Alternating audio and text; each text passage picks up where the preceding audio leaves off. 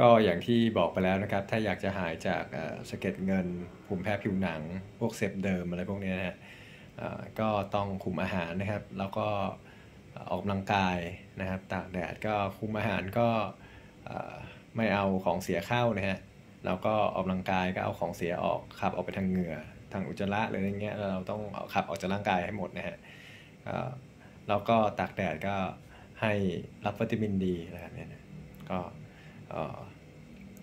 จริงๆ การออกกำลังกายมันทำให้ร่างกายแข็งแรงด้วยนะ มันก็มีหลายประโยชน์นะครับ ก็อย่างคีย์หลักนะครับ อย่างหลักๆเลยนะ ก็ต้องคุมอาหาร มาอัปเดตอาหารที่ผมทานนะ ตอนนี้ก็ไม่ได้ทานวีแกนนะ ก็มาทานพวกเนื้อปลานินด้วยนะครับ ก็เป็นเนื้อปลานินอบอะไรแบบนี้นะฮะ ก็ปลานินนึ่งปลานินอบ แล้วก็ผักก็จะเป็นพวก กวางตุ้งผักกาดขาว ผักโขม watercress อะไรเงี้ยตอนนี้ก็พยายามจะปลูกเองด้วยนะก็ลองไปเรื่อยนะครับ ก็ทำไปเรื่อยนะครับแล้วก็เป็นผักลวกอะไรแบบนี้นะผมไม่ได้ปรุงด้วยอะไร ถ้าจะปรุงก็อย่างมากสุดก็ดอกดอกเกลือนะครับที่ไม่ได้ผ่านกรรมวิธีนะครับแล้วก็ผักก็จะมีหลายอย่างนะครับ จริงๆ ก็จะเป็นผักฤทธิ์เย็นนะครับที่ทานวนไปเรื่อยๆนะครับ เป็นตั้งกงตั้งกวาอะไรอย่างนี้ด้วย ก็มี หลายอย่างนะครับก็ลองลองเพื่อนๆก็ต้องวิจัยตัวเองว่าแต่ละคนแพ้ไม่เหมือนกันนะครับ ก็ต้องลองทานดูนะครับถึงจะรู้ถ้าคันๆหน่อยก็จะต้องหลีกเลี่ยงนะหรือว่าทานแล้วมีอาการอะไรอย่างเงี้ยอืมผมจริงไปลองทานพริกมาก็คันๆเห่อๆบ้างก็ แต่ก็เลิกกินก็หายไปแบบนี้ฮะมันก็จะมีอาการบ้างก็ อะไรที่เรากินแล้วมันไม่ดีเราแสลงกับเราเราก็พยายามเลิกกินโอเค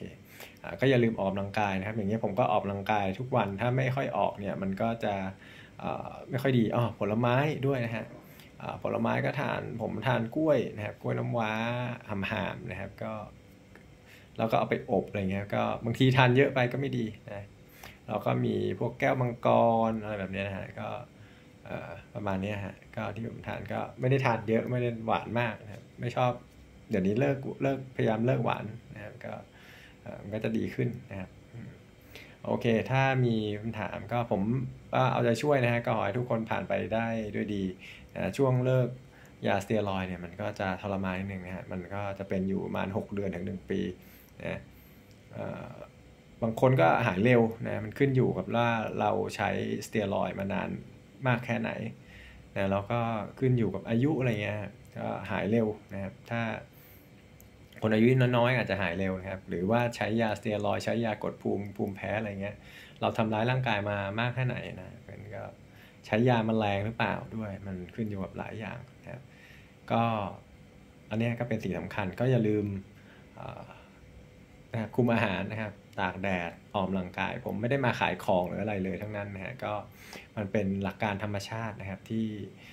เราต้องกลับไปยึดไปไปดูแลร่างกาย แล้วก็ดูแลสุขภาพนะครับทุกอย่างจะกลับมาเป็นเหมือนเดิมนะฮะแล้วเราก็จะมีสุขภาพผิวที่แข็งแรงเหมือนเดิมนะฮะแล้วก็สุขภาพกายด้วยนะครับทุกอย่างก็หวังว่าเพื่อนๆคงลองทำดูนะก็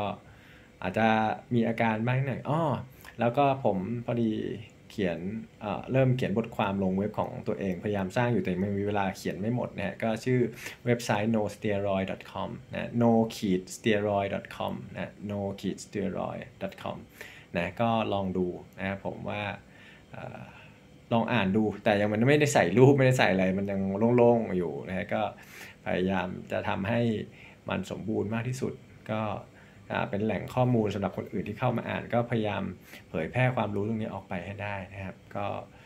ถ้าใครมีก็ลองเพื่อนป่วยแบบพวกประมาณแบบนี้ก็ลองแนะนำให้วิธีที่ถูกนะการกินยาสเตียรอยหรืออะไรแบบนี้มันไม่ได้เป็นวิธีที่รักษาแบบยั่งยืนเราต้องรักษาที่ต้นเหตุจริง ๆ นะครับผมไม่งั้นมันจะไม่หายแล้วก็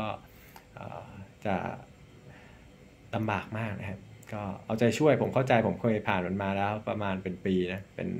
แต่ช่วงผมโชคดีคือผมไม่ได้ไป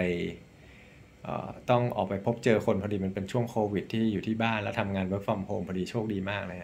ก็ตอนนั้นก็ตัวแดงตัวลอกเหมือนกันนะครับ ก็ลำบากในการใช้ชีวิตก็โชคดีที่ได้อยู่บ้านแล้วก็ดูแลร่างกายอยู่ประมาณ 2 ปี ก็จริงๆมันหายตั้งแต่ปีปีกว่าๆแล้วมันก็เริ่มดีขึ้นเกือบหายแล้วผมก็นานนะครับก็เป็นปีกว่าๆปีกี่ครึ่งนะครับ ก็แต่คนอื่นเขาก็ 2 ปีบ้าง 3 ปีก็มีบางคนยังไม่หายเลยก็มี เพราะว่ายังคุมอาหารไม่ได้นะครับ ก็ยังไงก็เรื่องคุมอาหารเนี่ยสำคัญมากนะครับ ก็เราไม่เอาของเสียเข้า เราก็ไม่เอา input เข้านะครับไม่เอาเข้านะครับ เอาออกอย่างเดียวนะครับเอาของเสียที่มันค้างไว้ร่างกายนะครับแล้วให้ร่างกายมันฟื้นฟูกลับมาเป็นเหมือนเดิมนี่คือคอนเซ็ปต์หลักๆของการรักษาแบบธรรมชาตินะครับ ก็หวังว่าเพื่อนๆคงได้รับความรู้แล้วก็นำไปปฏิบัติ โอเค โชคดี ขอให้หายทุกคนแล้วก็มีคำถามก็คอมเมนต์ถามกันมาได้นะครับ ก็มีอะไรช่วยเหลือเต็มที่ก็พูดคุยได้เหมือนกัน โอเคนะครับ โชคดีครับ สวัสดีครับ